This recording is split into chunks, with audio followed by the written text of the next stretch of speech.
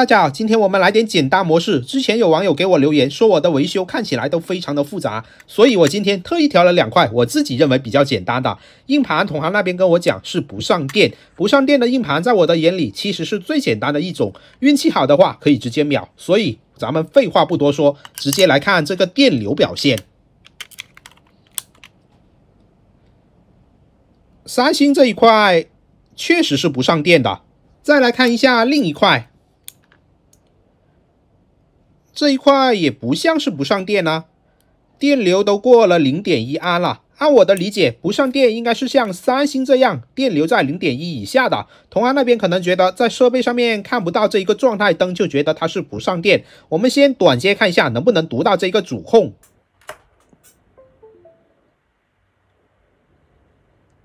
现在短接是读不到这一个主控的。像这种小马幺幺二零的主控，有很多时候都是被直接击穿的，因此这种小马主控的料板，我这边肯定也是常备的。因为这一个盘的它的上电电流都已经超过零点一安了，外围的供电肯定是已经全部正常产生，因此这一次我就不做过多的测量，咱们直接随机挑选一名幸运儿来参与本次的恢复工作，我们直接把这一个主控给它替换上来。这次没被选到的料板也不用急。下次还有机会的，我相信这一次应该能被我轻松秒杀。我们可以看到，主控换完，这个分区也跟着一起出来了。继续来拆第二块三星，这一个呢也是不上电的。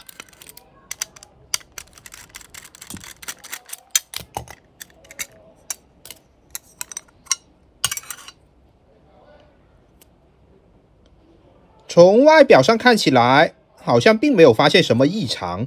神奇的是，这个硬盘的外壳拆开以后，上电电流居然比刚才还高了一点点，多上几次电，它还可以达到零点二电流的。但是过一会又会掉电，这种像是硬盘的供电没有出全。具体嘛，我们来测量一下。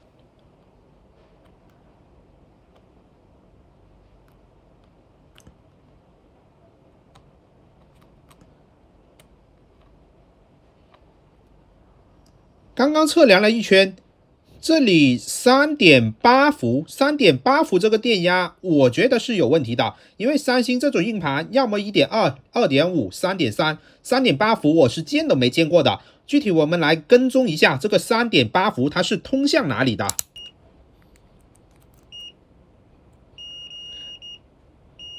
找到了，这一个三点八伏是来源于保护隔离管的后级。难道是它这个保护隔离管挂了？我们来测量一下这个保护隔离管前后的电压一不一致，给它通上电。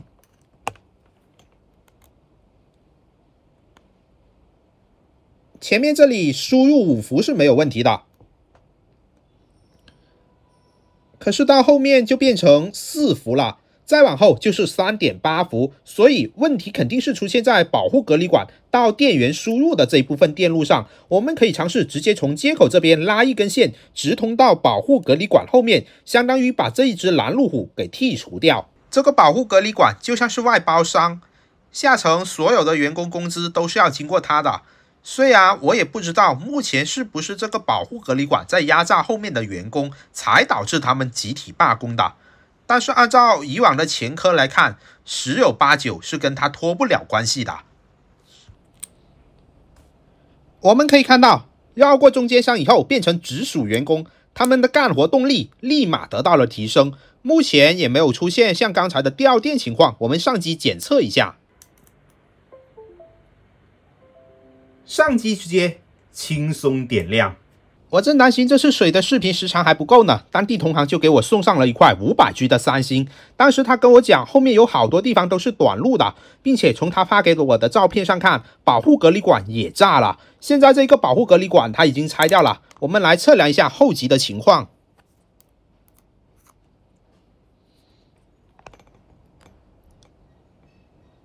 五伏对地短路了，现在只有两欧，测一下后面。这个还好，这个应该是给主控供电的，十一欧我感觉是偏低了，这里也偏低，这里也是。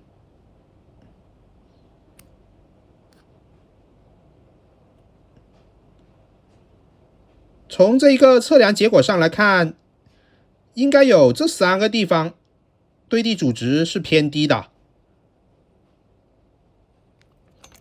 五伏大短路应该还是比较容易找的，我们接一根线上去烧机吧。上电直接零点九安大短路，我们开一个透视挂看看。右上角这一块在发烫啊，这边好像没啥。反过来是一颗电源管理芯片，我们可以看到这个电源管理芯片已经烧到七十二度了，这个温度还会不断的提升。咱们把这个电源管理芯片给它拆掉看一下。电源管理芯片我已经给它拆掉了，再来测量一下。哎呀，还是短路的。现在这一个线我又给它重新飞好了。上电直接一安大短路，比刚才还要高。上面这一块在发烫啊，翻过来温度更高了，直接烧到八十四度。这个是缓存芯片，我们给它涂点油看看是什么情况。这个油一抹上去就直接融化了，我们再把这一个缓存给它干掉。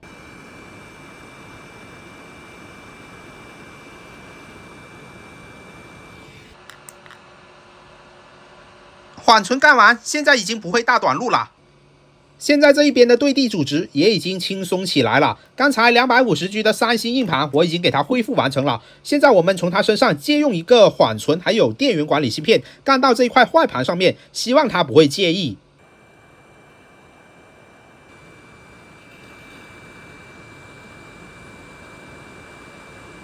缓存跟电源芯片换完，虽然上机有这一个状态灯亮起来，不过它是长盲状态的，而且这个电流也一直卡在零点二三这里不会动。像这种情况，一般都是颗粒挂了，或者固件自身存在问题。它这个盘大概率是十二伏供电直接穿透了保护隔离管，打到了后面这些芯片身上，才导致这样大面积烧毁的。本来我想着今天可以拿到三杀的，没想到是这样的结局。